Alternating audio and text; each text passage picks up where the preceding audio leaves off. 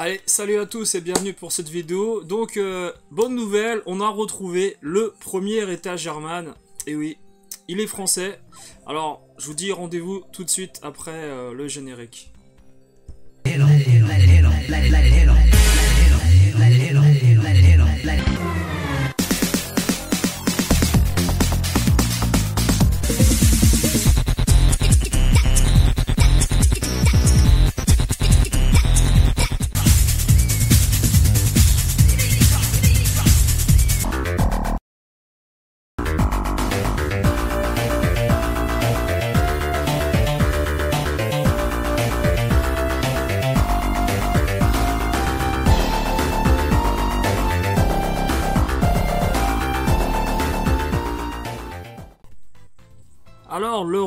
gaming, qu'est-ce que c'est Comment ça a été défini et surtout comment ça a été démocratisé par justement les personnalités de YouTube, de la vente et puis également voilà des personnes qui ont euh, organisé différentes euh, conventions. Alors, si on regarde un peu au niveau des racines du rétro, bah c'est pas nouveau. Euh, ça date depuis, on va dire, le début des années 80 où justement on avait euh, la possibilité de jouer à certaines machines déjà obsolètes euh, à la maison sur, on va dire, nos consoles de salon dans diverses compilations sur micro-ordinateur. Mais voilà, la collectionnite n'étant pas forcément en place dans les années 80 et 90, on a dû attendre bah, quelques années avant d'avoir l'apogée à travers le milieu du rétro gaming. Le rétro gaming, c'est aussi un phénomène de collection, de constitution d'une ludothèque de classiques, de titres fondateurs et emblématiques auxquels on a joué lorsqu'on était enfant. Le rétro gaming, c'est aussi et surtout ce phénomène qui revendique le jeu vidéo comme une culture et comme un art à part entière constitué d'une histoire et d'un patrimoine qu'il faut préserver et diffuser. Et c'est là tout le problème, c'est que cette définition va être complètement galvaudée par ce phénomène de réseau social, avec des personnes voilà qui vont mettre en place un système euh, de collection, de musée à travers euh, différentes étagères murales et c'est là que ça peut rentrer dans le comique pour certains.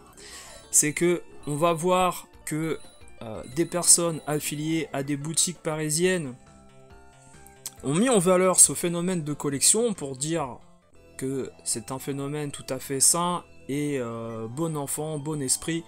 On connaît la suite, on connaît toutes les dérives hein, qui ont découlé de cet esprit euh, sain diffusé par des personnes du milieu. Et on a retrouvé une des vidéos il y a 12 ans d'un des premiers États germanes voilà, qui a démocratisé ce phénomène. Alors je vous ai pris un article par exemple ici euh, du site Link to the Past, voilà, une petite histoire du rétro gaming.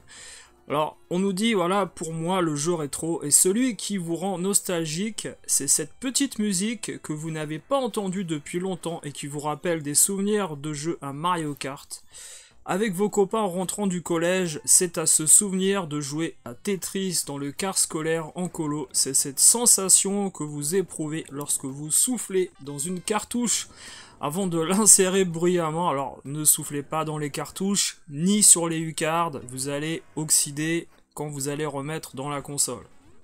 Aucun intérêt.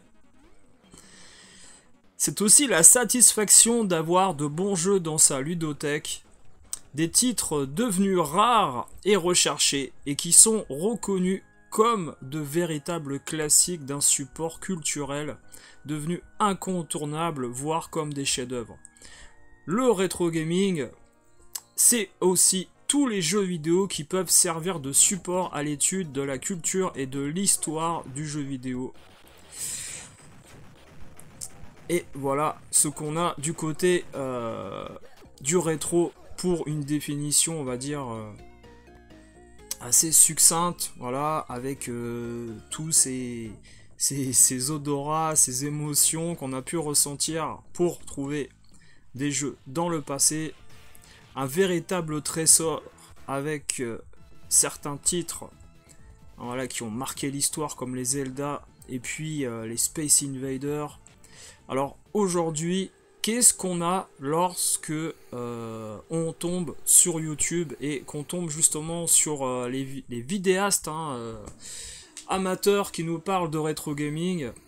On a pour la plupart du temps des prix, des boîtes, des étagères, des brocantes, des achats en magasin, des achats compulsifs, des achats totalement incohérents par rapport à l'affection euh, de tel ou tel joueur, euh, des jeux achetés à la jaquette, des, jeux achetés parce qu'ils sont chers, des jeux achetés en lot parce que ça a coûté très peu cher de, prendre des jeux à 2-3 euros. Euh, on est parti dans un fouillis total au niveau euh, de ces euh, représentants du rétro gaming sur les réseaux sociaux. Et euh, qu'est-ce qu'on a pu voir il y a une douzaine d'années, voilà, dans un reportage. Et eh bien tout de suite, je vous mets cette fameuse petite vidéo vous allez voir que on met en valeur le côté état german démocratisé, hein, totalement libre d'accès pour la plupart des gens qui veulent se payer une collection rétro euh, avec des prix qui paraissaient déjà euh, très élevés pour certains, mais qui restent vraiment attractifs euh, par rapport à aujourd'hui, où 12 ans plus tard, vous imaginez bien que certains jeux qui valaient 5 ou 10 euros à l'époque font du x10 pour la plupart.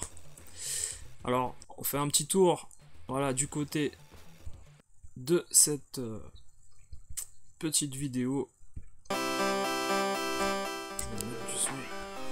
Voilà, il y a à peu près 10 mètres carrés euh, d'étagères, de, de, jeux. Une mode en fait qui est, qui est... Et là, attention, voilà, prêtez l'oreille à ce qui va être dit, une mode qui est apparue récemment en 2005. Voilà. Donc, euh, non, bah non, en fait, ça n'a pas apparu en 2005, ça a apparu déjà dans les années euh, fin 70, début 80, le, rétro gaming, hein, euh, dans, les termes. Maintenant, la collectionnite, par rapport aux magasins qui vendent du rétro, dans les vitrines, à la place, on va dire, des produits modernes, neufs, euh, qui sont d'habitude fournis par des distributeurs, Peut-être que là, oui, on est plus dans les cordes de 2005 pour des boutiques qui euh, se euh, ravitaillent en, objet rétro gaming. Euh, même si certaines boutiques n'ont jamais abandonné les consoles anciennes sur différentes artères parisiennes de la vente et, en province, en Espagne, etc. on continue la vidéo en fait qui est, qui est apparu il n'y a pas si longtemps que ça, à peu près en 2005. Donc de, nouveaux collectionneurs sont arrivés sur le marché et les prix ont commencé à, grimper. Ah, c'est pas, c'est pas aussi simple que ça, c'est sûr. Bon, c'est, il y a une chose qui est certaine, c'est que à l'apogée euh, du rétro gaming après 2017, euh, où justement voilà les prix flambent dans tous les sens. Hein, euh, la courbe spéculative est énormissime. Euh, ce phénomène a été amplifié par les réseaux sociaux et c'est vrai que les premières boutiques qui se sont lancées officiellement dans le rétro et la vente de produits en, très bon état euh, ont pris un marché voilà en qui était en marche hein, en développement euh, parce que justement, voilà, à l'époque, hein, il y avait très peu de marge à faire sur euh, les produits vendus par euh, les distributeurs modernes, et les éditeurs, les fournisseurs.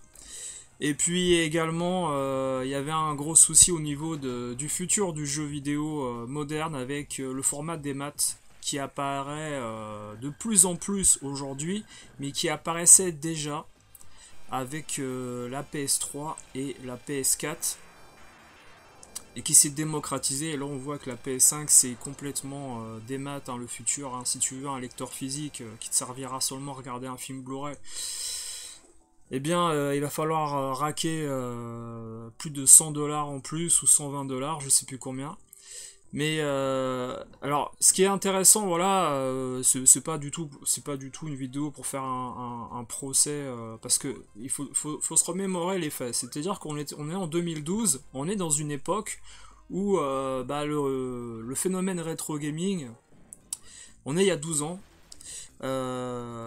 et si vous voulez, cette période-là, c'est l'arrivée, l'arrivée de la de certaines consoles qui vont faire que les boutiques se demandent en effet euh, quel est le futur du, marché du jeu vidéo. Qu'est-ce qu'on va faire pour euh, subvenir aux besoins voilà, de, la boutique, des employés, pour conserver nos murs?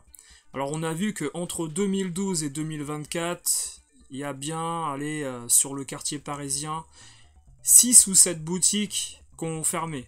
Voilà, a 6 ou 7 qu'on. Aujourd'hui, voilà, vous, vous connaissez tous très bien voilà le quartier parisien. Vous savez que la personne dans la vidéo est une personne qui bossait, qui était affiliée à une boutique historique depuis 2002 sur le quartier parisien. Et, cette boutique-là, bien sûr, a un, côté communication euh, extrêmement bien rodé. Et euh, dans cette vidéo, bah, on voit que je pense qu'il n'y a pas un côté innocent parce qu'on a revu plusieurs fois Camille dans d'autres euh, reportages où il explique devant les vitrines du magasin que, en effet, voilà, ça c'est le futur de la vente. Il y a des objets en très bon état, il y a des objets en, état moyen, des objets en, loose, des objets seuls. On crée un nouveau lexique pour ce marché-là. Mais le phénomène état-german, pour moi, je ne sais pas ce que vous en pensez, mais le phénomène état-german officialisé a commencé avec ce genre de documentaire et de reportage sur euh, Game One, euh, Game Blog, Game Cult.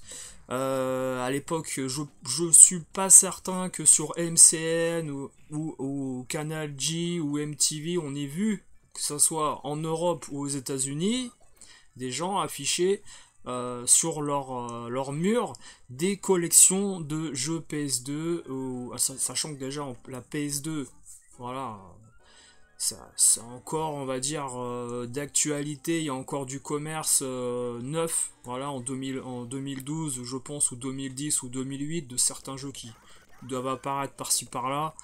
C'est bien possible, même si, euh, c'est trop frais. C'est-à-dire que on pense pas, voilà, à mettre en valeur un jeu Super Nintendo. Faut se remettre dans le contexte. Hein. On va pas on va pas afficher un, Donkey Kong Country en loose fièrement sur une étagère et bien sûr avoir euh, comment dire des, amis de la famille venir dîner le soir et voir euh, un coin gaming room avec euh, des, des, comment dire affichages LED Sega ou Nintendo ou des jeux Atari ST qui, qui, trônent fièrement voilà au-dessus de la cheminée. Alors bien sûr je vulgarise la chose mais le fait que justement dans des vidéos à l'époque, on est euh, ce genre de, reportage avec des gens sympathiques qui nous montrent que euh, la collection c'est sympa, c'est cool, c'est dans l'air du temps. Euh, vous avez certainement connu des gens à une période, bah, qui a, là j'ai pas ça, mais à une période qui affichait des, DVD, voilà, dans les bibliothèques du salon à, côté de la télé, à côté de la, la table à manger ou également près du canapé, hein, les, étagères de DVD, qui avaient remplacé les étagères de VHS. Et la génération voilà, euh, qui est arrivée début années 80, je pense a commencé à mettre des petits, des artworks, des petits dessins, des petits, tableaux, des petits cadres avec euh, peut-être euh, voilà, des personnages du Nintendo comme, comme Kirby, comme Mario, comme, Link, Hein, euh, et puis euh, ces, personnages-là euh, ont entraîné derrière voilà, un petit étalage mural voilà, de, voilà, d'une cinquantaine de centimètres avec quelques reliques des années 80 où on a trouvé en brocante 3-4 petits jeux. Et puis on se rend compte qu'en fait ben, on n'est pas tout seul, il y a d'autres personnes qui sont comment dire affilié à des brocantes, affilié à un, chemin du combattant pour retrouver des jeux anciens, euh, qui en parlent sur les réseaux sociaux, des gens font des tests de gameplay, euh, sur d'anciens jeux pour montrer que bah finalement les cinématiques ça fait pas tout sur une PS3 ou une PS4. les, jeux étaient en effet difficiles mais très intéressants au niveau de l'intelligence, de la réflexion, du level design et des graphismes. Et bah, on se rend compte que petit à petit, il y a des magasins, qui, qui, se mettent à vendre en fait ces produits-là. Euh, de façon euh, référencée. C'est-à-dire qu'on a en plus de ça des ventes autour de, 2 millions de drouot, des ventes aux enchères, avec des experts qui se déplacent pour euh, dire que tel ou tel jeu, voilà par exemple, voilà ce jeu-là, ou un autre, ou un magazine, tout simplement, tout simplement, voilà, un, un magazine, avec par exemple, voilà, un ancien console plus, ces gens-là vont expertiser des collections euh, d'anciens euh, joueurs qui revendent parce qu'ils ont peut-être 50 ans à l'époque en 2012 et ils se disent tiens euh, moi de mon côté je vais revendre voilà ma collecte je vais revendre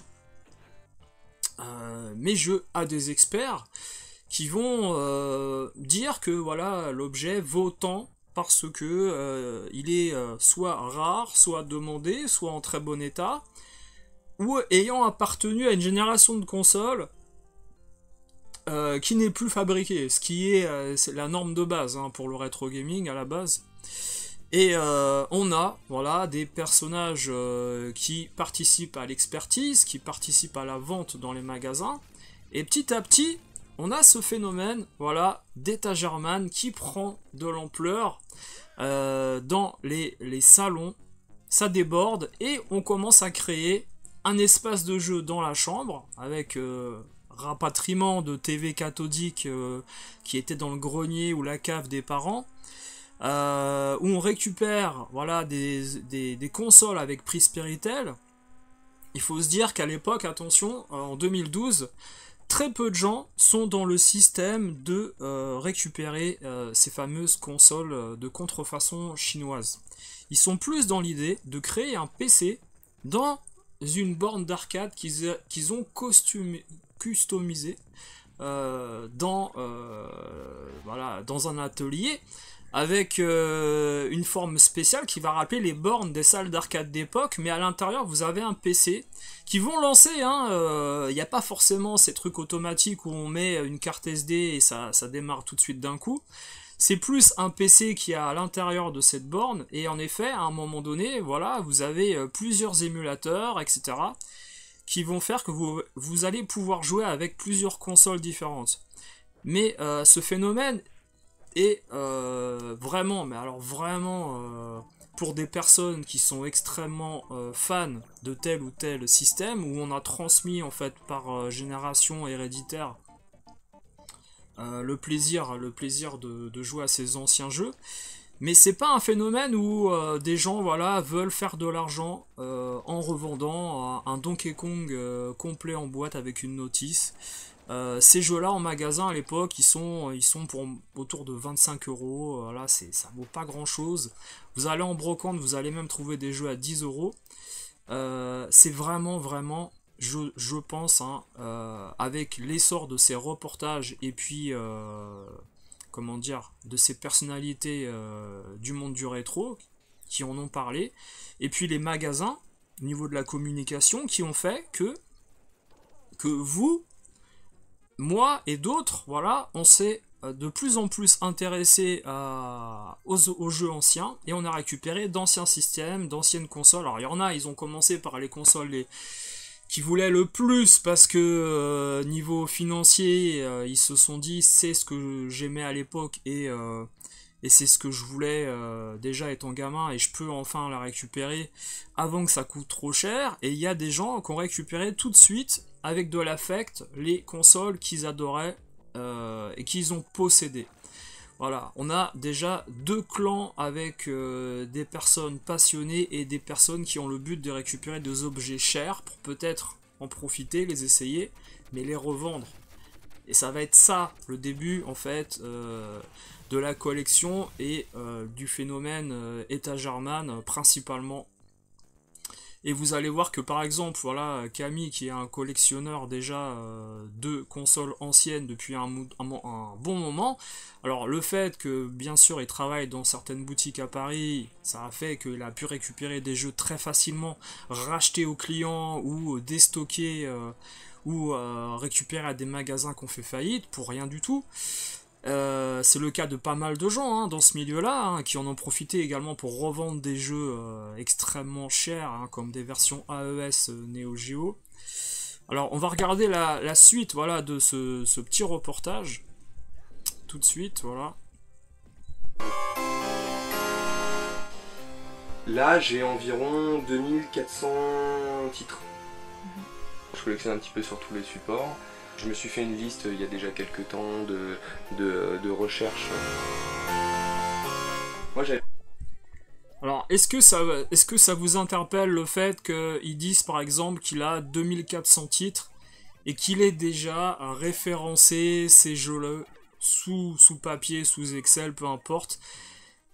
Tous ces codes, en fait, vous, vous les êtes appropriés avec le temps, vous, les, les étagerman et les collectionneurs. Tous ces codes de, de, façon de collectionner qui sont issus voilà, des youtubeurs, des personnalités de, magasins et de revente, vente aux enchères, etc. Et euh, vous avez, voilà, déjà, vous le voyez, à l'époque, on sait pas, c'est pas que, à l'époque, la gaming room, c'est pas quelque chose qui est mis en avant, mais c'est quelque chose qui n'est pas euh, assumé par les, les collectionneurs. Et c'est ça ça le principal problème c'est que les collectionneurs n'assument pas euh, de collectionner de la Super Nintendo ou de la Game Boy. Donc elles sont rangées en fait, tous ces jeux, toutes ces consoles sont rangées dans des tiroirs, dans des placards, pour pas que la compagne ou les, parents ou les amis de la famille euh, voient ce que vous collectionnez. Et le côté gaming room n'est pas euh, assumé par les 80% des, collectionneurs d'époque qui n'ont pas encore peut-être des très très grosses collections mais voilà le, le pourquoi ça commence par mettre euh, des étagères murales. C'est que voilà, on veut pas forcément embellir notre collection visuellement. Il n'y a pas ce côté gaming room assumé. Et on met voilà des comme un comme dans un atelier, un garage, on met des tréteaux, on met des on met des planches de bois avec euh, des euh, des, petits poids en contrepoids pour faire tenir les, le, le, lourd étalage de, jeux PS1 ou, euh, ou, console au mur. Et on a donc euh, voilà, un, système d'étalage qui est pas forcément beau, mais qui est pratique, c'est-à-dire que ça, ça, se défait facilement si un jour voilà, on n'en veut plus, etc.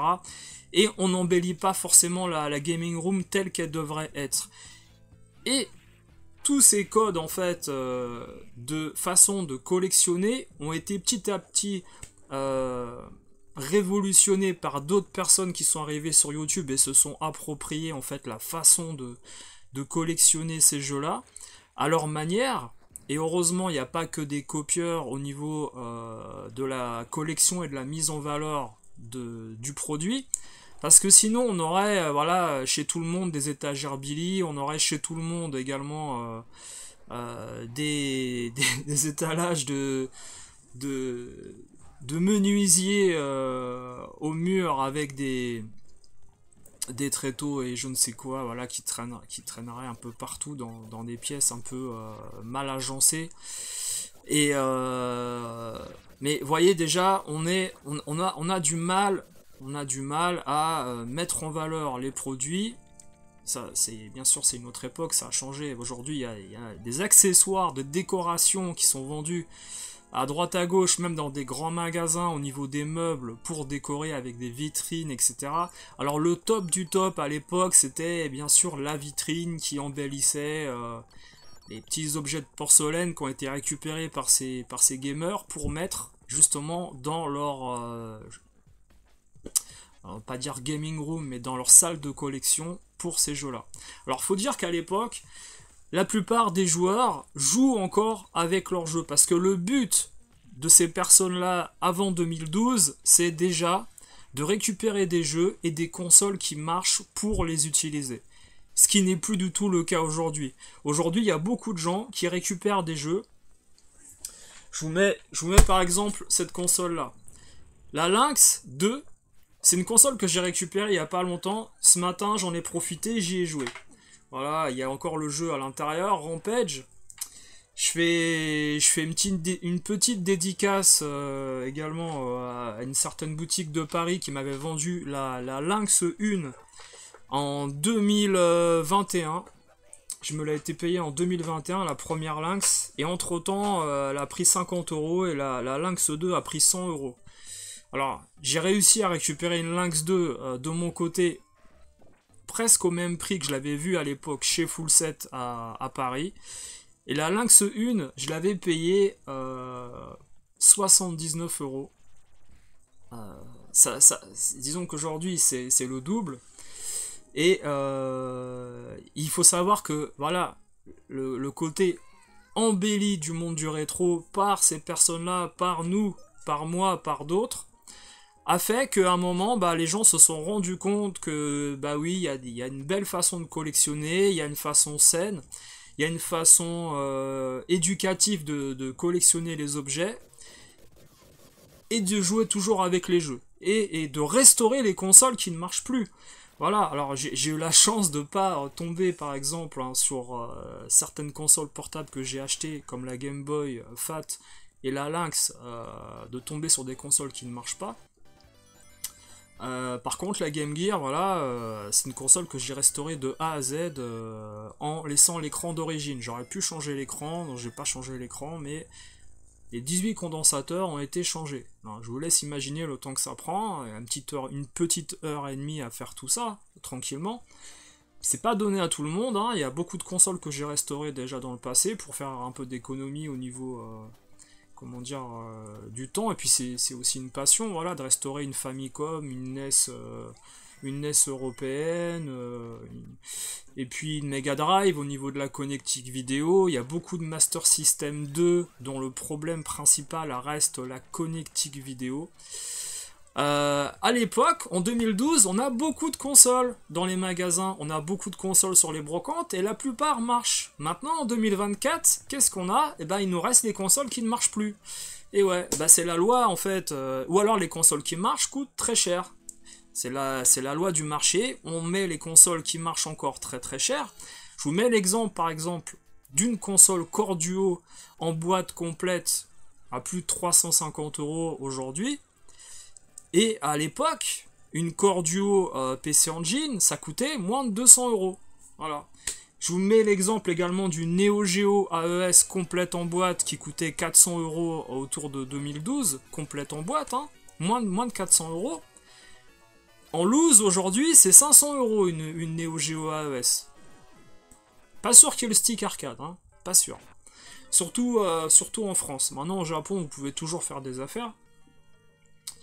Et euh, sur le boulevard Voltaire, on peut retrouver ces consoles Neo Geo AES à presque 1000 euros complètes en boîte. Voilà, en 12 ans. Voilà, voilà l'inflation qu'il y a eu en 12 ans sur certains systèmes. C'est énorme. Alors ici, voilà, on a euh, donc euh, les codes, les codes de l'état germane. C'est pas péjoratif parce qu'à un moment, on est tous état germane, mais on a une façon d'embellir ou pas la pièce. C'est ça, c'est ça l'idée. Euh, là, c'est les prémices, hein, c'est la préhistoire de l'État germane avec euh, voilà des objets qu'on peut retrouver à droite à gauche, euh, et puis des accessoires qui sont pas forcément officiellement du rétro gaming. Les, boutiques Zing, là, Micromania à l'époque, c'était le début où ça existait plus, pas encore, je sais plus, je je sais pas en quelle année ça arrivait, 2000. C'est peut-être 2012-13, un Zing, hein, je sais pas, faudrait que, je sais pas, je me souvienne, euh, les premières fois que j'y suis allé du côté de Val d'Europe ou, euh, ou Carré Sénard euh, ou, d'autres. Mais si vous voulez, en fait, j'ai pas, pas le grand souvenir qu'il y ait des objets dédiés au rétro gaming pour décorer votre pièce. Voilà, c'est un peu ça l'idée mis à part acheter des objets Nintendo ou des peluches euh, chez Toys R Us, euh, feu Toys R Us qui n'existe plus, bah quand même, hein, euh, il faut dire une chose, c'est que y a, depuis cette époque-là, beaucoup de choses ont disparu au niveau des boutiques et puis des, magasins de jouets. vraiment, il y a une révolution obligée à cause justement des géants comme Amazon Alors on continue la, vidéo. Il n'y pas de forme du Mario, du jeu d'aventure, enfin, etc., etc. Il y a un espèce de conflit générationnel dans les, dans les collectionneurs. Il est aussi intéressé par... Euh, bah, ça, ça c'est super intéressant ce que dit Camille parce que c'est vrai aujourd'hui mais ça s'est perdu. La réflexion sur le fait de savoir ce qu'il faut collectionner et pas collectionner. C'est que des gens ne se sont jamais posé la question par exemple et puis vous avez des gens également euh, qui sont intéressés premièrement par l'argent. Alors ça en fait euh, c'est pas forcément euh, quelque chose qui devrait apparaître dans toutes les collections visuellement, mais dans la tête voilà des gens qui collectionnent, ça serait intéressant de savoir si justement les gens ont déjà pensé à leur manière de collectionner. Et il y a, quelque chose qui est sûr et certain, c'est que voilà, euh, Camille déjà dans le passé, il avait cette réflexion pour lui-même au niveau de ce qu'il voulait faire. Alors ça part, ça partait dans tous les sens. Pourquoi? Parce que les produits n'étaient pas chers.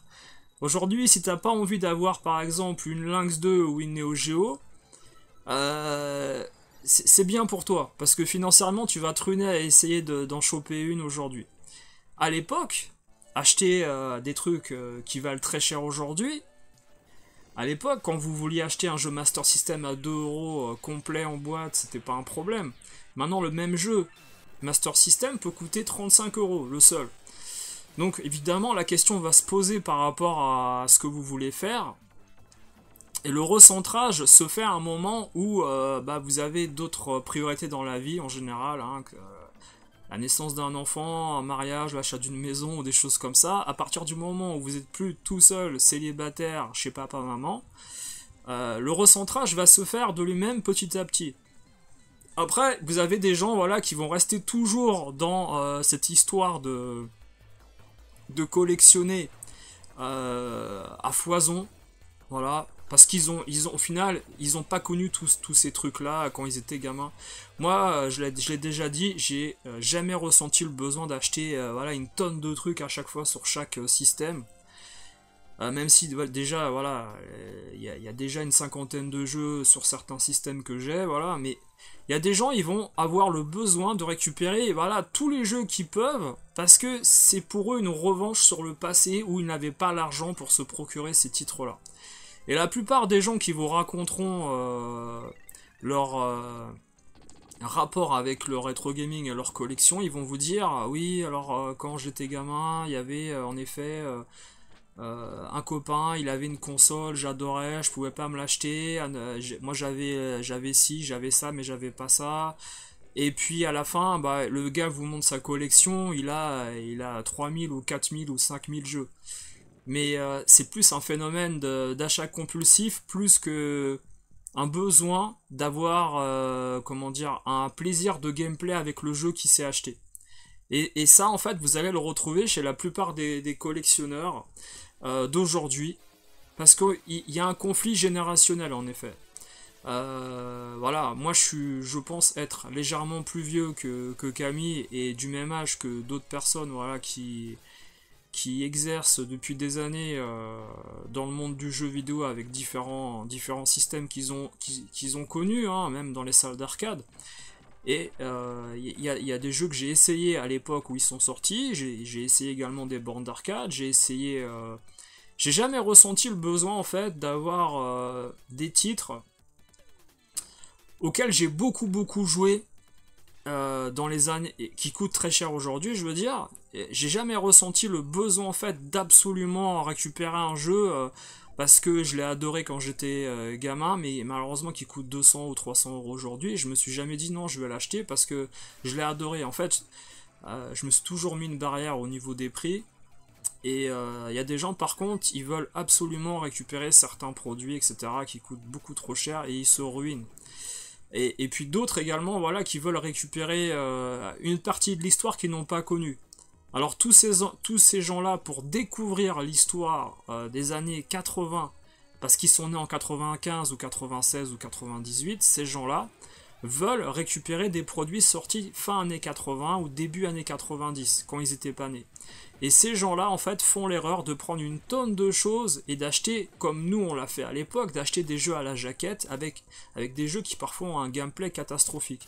Et vous retrouvez la plupart de ces gens qui sont full setters aujourd'hui, euh, nés milieu années 90, euh, qui collectionnent des systèmes qu'ils n'ont pas connus ou des systèmes euh, avec lesquels ils, ont, ils, prennent une revanche parce que ça coûte pas forcément cher comme la PS3 ou la PS2.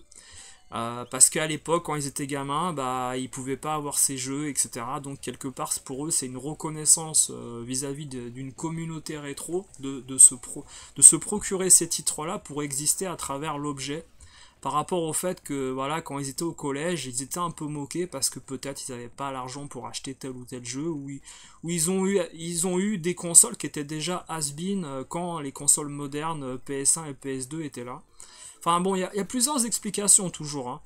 mais en effet le conflit générationnel fait que chacun collectionnera de manière différente le produit et n'aura pas la même façon de présenter le produit et de le mettre en valeur chez lui je pense que quelqu'un qui a connu le produit et qui, euh, comment dire, euh, joue beaucoup, mettra moins en valeur l'objet.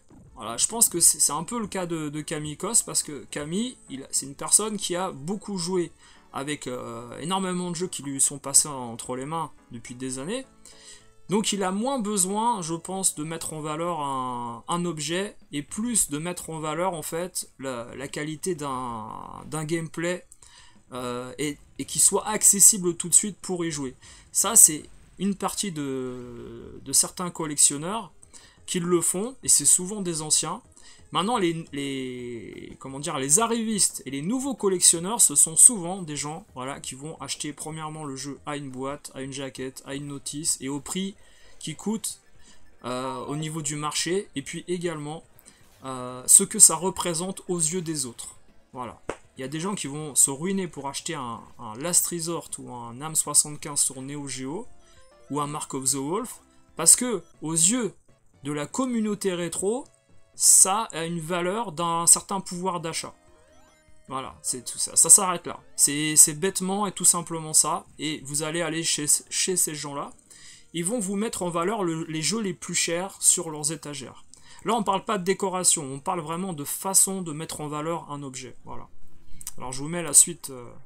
Concentrer et dire ok bah moi qu'est-ce que je vais faire? Je vais faire plutôt du RPG, je vais faire plutôt du jeu de plateforme, du Mario, du jeu d'aventure, enfin etc, etc. Il y a un espèce de conflit générationnel dans les, dans les collectionneurs. Il est aussi intéressé par euh, les mécaniques, comment on fabrique le jeu. Mes premiers amours c'était plus pour du RPG. Moi j'aime les jeux qui racontent des histoires, euh, où on fait pas euh, la guerre euh, pour faire la guerre où on fait pas des trucs enfin c'est vraiment j'aime j'aime les jeux qui font qui essayent de faire passer un message aux joueurs alors ça, ça c'est les anciens, c'est-à-dire nous on avait besoin d'un scénario, on avait besoin d'une atmosphère pour rentrer dans le, dans le jeu. C'est-à-dire que par exemple les jeux Mega Drive que vous voyez en fond d'écran, où justement vous aviez un côté RPG comme les Phantasy Star, les Final Fantasy, les Shining Force, vous aviez dans ces jeux-là un, graphisme minimaliste, limité à la technologie des machines d'époque, et on arrivait à rentrer dans l'histoire parce qu'au niveau du scénario, c'était extrêmement bien ficelé et intéressant, avec des petits rebondissements, des dialogues euh, bien écrits. Et euh, c'est toute la différence avec les, joueurs qui ont connu, premièrement, la, culture, on va dire, du cinéma ou des films avec un scénario très minimaliste et puis euh, comment dire des explosions euh, à l'écran énormissimes et puis euh, des films catastrophes et puis de l'action en veux-tu en voilà avec très peu de scénario au final. Toute cette génération fin début qui, qui est née je vous dis autour des années 95-96 qui n'ont pas connu les meilleurs le meilleur cinéma la meilleure création des jeux vidéo même si attention il y a de très bons jeux qui sont arrivés Hein, comme euh, voilà euh, The Last of Us, qui, à l'époque, je, crois, je sais plus en quelle année c'est exactement, mais il arrive assez tard sur la PS3. C'est un des jeux voilà, qui, a, a marqué les gens par son scénario. Euh, mais il n'y a pas eu de grands grands titres parce que graphiquement, les consoles étaient très performantes à un moment donné, on n'avait pas besoin forcément de faire des grands scénarios. Les graphismes parlaient pour, pour l'aventure. Donc j'ai commencé par euh, tout ce qui est basique, euh, tout ce qui est Final Fantasy, Dragon Quest, euh, Suikoden, mais après on s'étend un peu plus avec des jeux qui sont un petit peu moins connus du grand public comme, comme Lunar ou les Persona ou des choses comme ça. Il faut quand même rester un peu d'actualité et puis pouvoir comparer les choses quoi. Donc typiquement oui j'ai quand même une centaine de jeux aujourd'hui quand même sur, PlayStation 3, peut-être pareil sur Xbox et sur Wii quoi. Alors, vous voyez que même à l'époque, euh, bah, les gens, les gens euh, collectionnent du rétro et collectionnent, enfin, qui les gens qui collectionnent du rétro collectionnaient aussi également du moderne actuel parce qu'il y avait euh, ce côté, on va dire, besoin de, je pense, appartenir à deux générations pour se cultiver au niveau de, sa culture vidéoludique et, connaître bien sûr les, jeux euh, modernes sans, rater de, grands titres. Alors voilà, lui c'est par exemple un fan de, RPG, etc. Mais euh, je pense que par exemple, les gens qui étaient fans de certaines licences de, sport dans le monde du jeu vidéo hein, ou euh, de FPS comme à la, Call of Duty, etc., ont joué à des Medal of Honor dans le passé et on jouait également à, euh, au dernier, voilà, euh, Rainbow Six, euh, etc. Moi j'étais extrêmement fan de Rainbow Six. le Rainbow Six Vegas sur la 360 et la PS3, c'est, il est magnifique ce titre-là. J'avais été un peu plus déçu par le, par le deuxième. J'avais fait également d'autres séries de Tom Clancy, voilà, qui étaient un peu moins bien, mais qui étaient pas si mal. Mais je veux dire, quand vous êtes fan d'une licence et d'un système, en général, vous essayez voilà, de, continuer dans la modernité sur les titres qui sortent. Alors c'est pas, pas forcément une réussite parce qu'on a vu des jeux comme euh, les Castlevania qui sont arrivés sur PS3 qui étaient voilà c'était bon mais c'était pas on va dire euh, l'esprit déjà euh, de la 2D de, la Super Nintendo ou de la, ou NES ou de la Game Boy euh, une aventure 3D avec des caméras fixes par moment, bon, ça laissait voilà dubitatif. Hein. On était dans l'époque des May Cry, vous savez, où il fallait faire du spectaculaire avec de l'aventure. Devil May il a parfaitement bien fait sur les trois premiers épisodes, le quatrième, ils s'y sont un peu ratés, mais mais je veux dire, en général, quelqu'un qui est fan d'une ancienne licence va chercher à récupérer des jeux sur les consoles modernes. Et vous voyez déjà que, par exemple, euh, en 2012, euh, voire avant, on mêle, et, ça en fait, vous pouvez le... Alors bien sûr, ça fait également partie de, de l'espace vital que vous avez chez vous, mais en général, on mêle euh, les livres, les bandes dessinées aux jeux vidéo dans sa, sa pièce. parce que je vous dis, il y a toujours ce côté où on n'assume pas alors je parle pas forcément pour lui, hein, mais je parle un peu pour tout le monde à l'époque, on n'assume pas à 100%, voilà, euh, collectionner principalement du jeu vidéo rétro, euh, que ce soit de la Game Boy, de la PS1, ça fait un peu trop geek aux yeux, euh, voilà, parfois de la compagne ou, ou, des amis. Donc on garde ça pour nous. Aujourd'hui, c'est totalement assumé. Aujourd'hui, vous, avez, vous allez chez des gens, ça déborde dans le salon, ça déborde dans l'entrée, ça déborde dans la, dans la chambre c'est pas un problème. Euh, aujourd'hui, les gens font des choses voilà, qui leur plaisent, ils ont arrêté de, se demander si ça plairait aux autres pour certains, surtout les anciens, et puis les. Euh, enfin, excusez-moi, surtout les, jeunes, pardon. Les anciens, ils sont toujours un peu dans la réflexion de se dire ouais, mais voilà, s'il y a des invités, qu'est-ce qu'ils vont penser et tout. Bon, voilà, il y a toujours des façons de cacher les choses après. Mais euh, voilà, on mêlait, voilà, par exemple, euh, les CD, la musique, les vinyles, les DVD, on mettait un peu tout. Aujourd'hui, vous allez chez les gens, ils ont des coins consacrés spécialement aux jeux rétro. Et puis un petit côté où vous avez des bandes dessinées, mais tout est séparé. À l'époque, on mélangeait beaucoup les choses. Bon, on va terminer la, vidéo rapidement.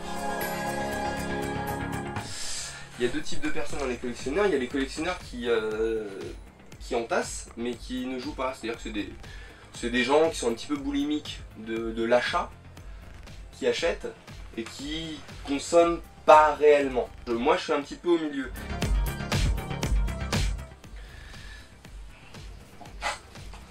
Euh, donc voilà, donc typiquement dans les jeux qu'on achète pour jouer, il y a ce genre de choses. Donc euh, ça c'est Metal Slug 3 euh, First Run sur, sur, sur Neo Geo AES. C'est des jeux généralement qui valent plus cher que la moyenne dans la collection. C'est très typé, très typé arcade versus fighting, etc. Et généralement les jeux qu'on achète sur cette console, c'est pour y jouer. Bien sûr, alors alors, c'est très amusant parce que, vous regardez la différence qu'il y a entre 2012 et 2024.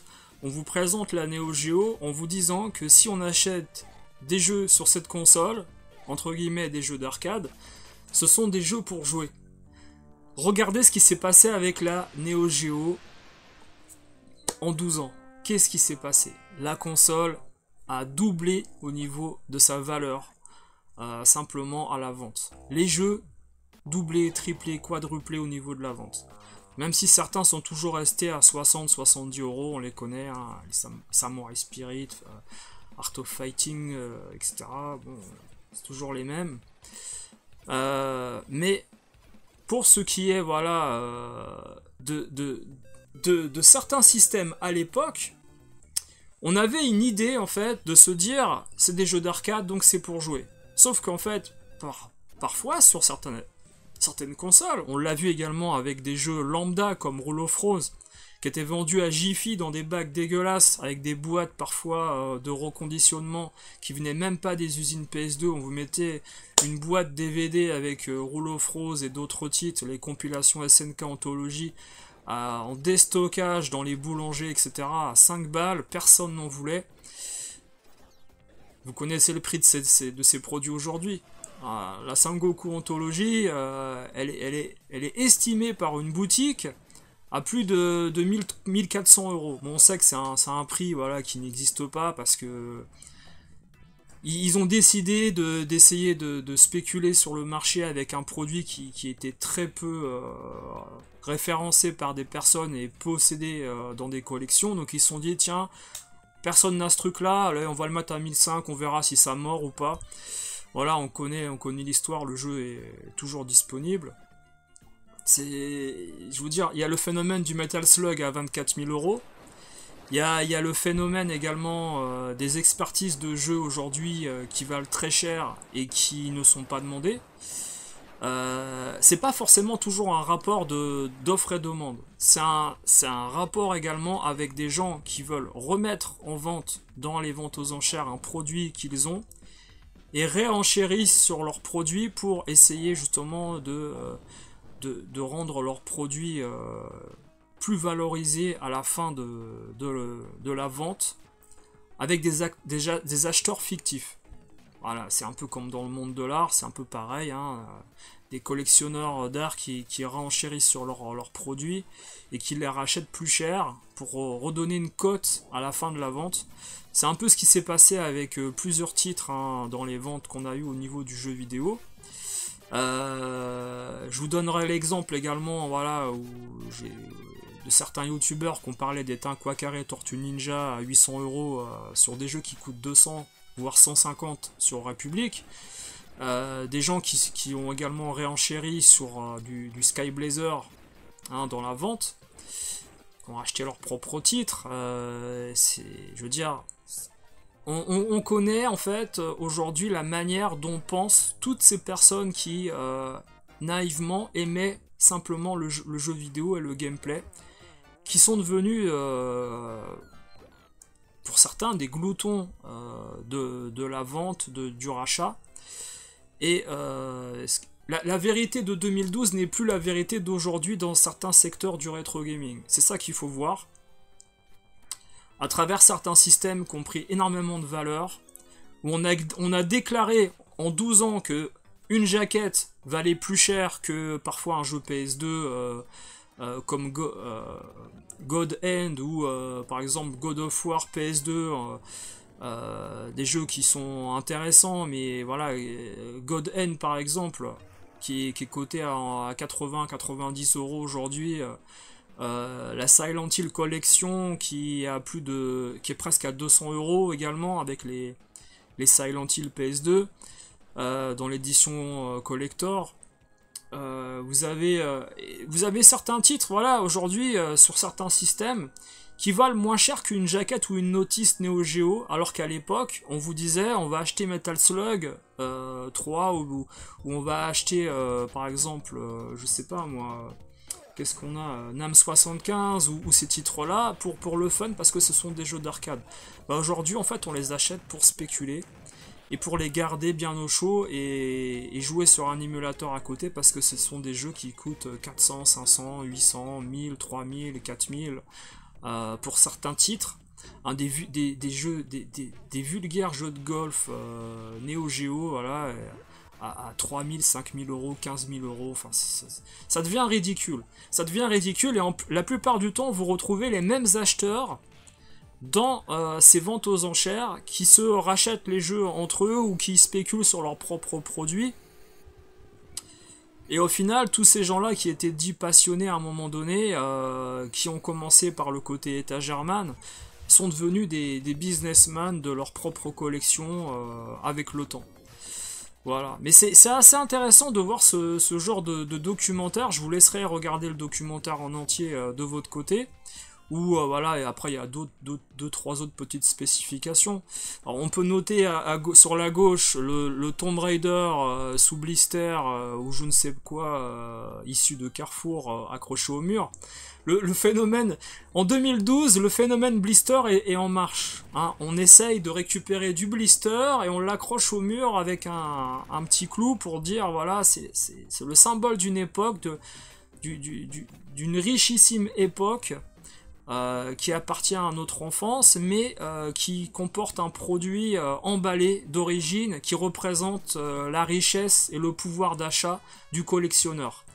bien sûr, je vous laisse imaginer ce qui se passe en 2024. Tous ces gens-là intelligents ont revendu ces blisters dix fois plus cher et les laissent se détériorer chez les gens qui ont récupéré ces blisters et rigolent bien aujourd'hui. Voilà. On a, on a mis en valeur un produit à une époque euh, qui parfois n'était pas demandé, mais qui représentait un, signe de richesse. Aujourd'hui, vous, les gens qui avez récupéré des, jeux Neo Geo à 500-800 euros, ou des jeux, des jeux euh, MSX, X68000, ou également, euh, qu'est-ce qu'on a d'autre Même des jeux Super Nintendo, comme Wild Guns, à 500-600 euros en japonais. Dites-vous que la, courbe au niveau parfois de la valeur de votre produit peut, retomber. À partir du moment où euh, bah, votre jeu ne sera plus fonctionnel, l'emballage sera dégradé, et puis surtout euh, qu'il n'y ait plus en fait de demande par rapport à vos produits euh, que vous possédez. Parce que un jour ou l'autre, les, les, jeunes qui sont habitués au démat aujourd'hui n'iront pas racheter un Donkey Kong à 90 euros sur Super Nintendo FAH Hein, qui intéresse euh, les franciliens. Euh, surtout hein, fans, de, de République, hein, le FAH qui a été euh, instauré dans cette collection parfois désordonnée et incohérente de certains fanzouz de chaînes YouTube. le FAH en Allemagne ne représente absolument rien. Je vous laisse imaginer bien sûr ce qui se passe sur Neptune ou Pluton. On n'en a rien à faire de savoir si votre Mortal Kombat il a la notice en français. non, mais pour rigoler, je pense que chacun voilà, a sa façon de collectionner, mais euh, elle n'a de cohérence que par rapport à ce que vous faites et ce que vous êtes. Voilà. Si vous faites quelque chose par rapport à un autre, vous vous mettez les doigts. Les... vous vous trompez de chemin, complètement. Bon, voilà les gars. Sur ce, euh, c'était une petite émission sympathique, je trouve, où je me, même moi de mon côté, je me suis bien amusé à, en, parler justement du, côté État german assumé de 2012, euh, démocratisé, parce qu'il n'est pas assumé à 100% encore dans les foyers, hein. il faut, tomber sur les bons reportages et dire à sa femme, t'as vu chérie, regarde, ça passe à la télé, c'est bien. Voilà, allez, salut les gars, je vous dis à bientôt, et puis euh, passez voilà, une bonne semaine. Allez, ciao Bye.